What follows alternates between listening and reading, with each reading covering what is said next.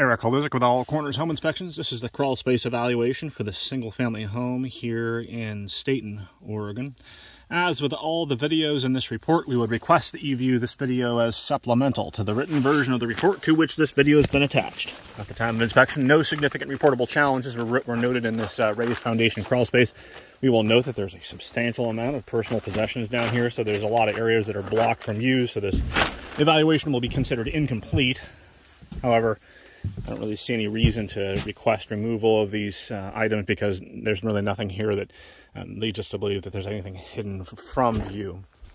Erik Haluzak, All Corners Home Inspections.